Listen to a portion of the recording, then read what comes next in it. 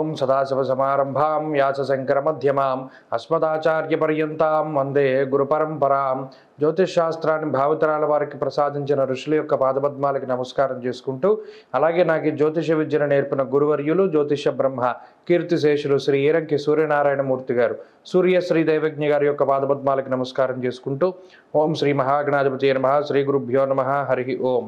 వీక్షకులందరికీ నమస్కారం. సింహరాశి వారికి ఈ వారం సాధారణమైనటువంటి గ్రహస్థితి గోచరిస్తూ ఉన్నది. ప్రత్యేకించి భాగ్యస్థానమందు గురుబుధుల యొక్క యుతి జరుగుతూ ఉన్నది. అష్టమ స్థానంలో రాస్యాధిపతి అయినటువంటి రవిగ్రహం రాహుతోటి కలిసి ప్రతికూలమైనటువంటి ఫలితాలను ఇవ్వడం ప్రధానమైనటువంటి ఇబ్బందిగా చెప్పవచ్చును.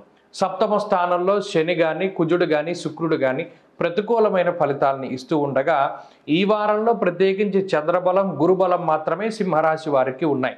ఇక్కడ వచ్చినటువంటి సమస్యల్లో అష్టమంలో రవి ఉండడమే. దీనివల్ల ఎక్కువగా ఎండ వేడిమి వడదెబ్బ తగులుతూ ఉండడం లాంటి అంశాలు ప్రధానంగా సింహరాశి వారిలో చాలా ఎక్కువగా ఉంటాయి. ఇప్పుడున్నటువంటి వాతావరణ రీత్యా ఏర్పడేటువంటి సహజమైనటువంటి అనారోగ్య సమస్యలు ఏవైతే ఉన్నాయో అవి ఈ రాశి వారిని ఎక్కువ వెంటాడుతూ ఉంటాయి. అందులో భాగంగానే ఈ ఈ వడదెబ్బ తగులుతూ ఉండడం వేడి వల్ల సమస్యలు ఉష్ణ ఉష్ణ సంబంధమైనటువంటివి శరీరంలో వేడి పెరగడం లేదా ఉడుకు జ్వరాలు రావడం ఇటువంటివన్నీ కూడా అవకాశం ఉంటుంది. ఉత్సాహ భంగానికి సంబంధించినటువంటి చర్యలన్నీ కూడా ఈ రాశి వారిలో జరుగుతూ ఉంటాయి. ప్రయాణాలు చేయలేక వాయిదా వేసుకుంటూ ఉంటారు. ప్రత్యేకించి అష్టమంలో రాహుతో రవి ఉండడం వల్ల కొంత మానసికమైనటువంటి భయం కూడా ఈ రాశివారిలో ఉంటూ ఉంటుంది.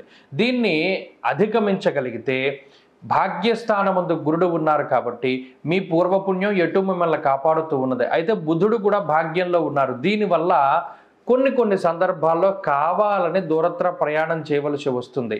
ఏదో ఒక ప్రతిఫలం ఆశించో లేదా ఒక వ్యక్తిని కలవడానికో లేదా దేవాలయాన్ని దర్శించడానికో శ్రమను మీ మీ యొక్క ఓపికను మించి కష్టపడుతూ ఉంటారు.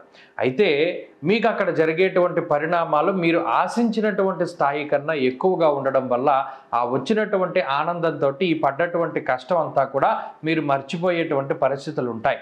ప్రత్యేకించి ఈ వారంలో కొన్ని పుస్తకాలను ఎక్కువగా చదవడము లేదా జీవితానికి ఉపయోగపడేటువంటి చలనచిత్రాల యొక్క సందర్శనము లేదా వాటిని వీక్షించడము లేదా కొంతమంది వ్యక్తుల ఆధ్యాత్మిక గురువుల యొక్క దర్శనం జరుగుతూ ఉండడం లాంటివి మీలో కొంత ఉత్సాహాన్ని పెంపొందించడానికి అవకాశం ఉంటుంది. ఉద్యోగపరంగా ఈ రాశి వారికి మిశ్రమమైనటువంటి ఫలితాలు ఉన్నాయి. శ్రమ చాలా ఎక్కువగా ఉంటుంది ఫలితం తక్కువగా ఉంటుంది. వ్యాపార పరంగా సాధారణమైనటువంటి పరిస్థితే నడుస్తూ ఉన్నది. విద్యార్థిని విద్యార్థులకి మిశ్రమమైనటువంటి వాతావరణం ఉన్నది. ఏకాగ్రత లోపానికి అవకాశం ఉంటుంది. అయినప్పటికీ మీరు మీ యొక్క గురువు యొక్క అనుగ్రహంతో ముందుకు వెళితే మంచి ఫలితాన్ని సాధించగలుగుతారు.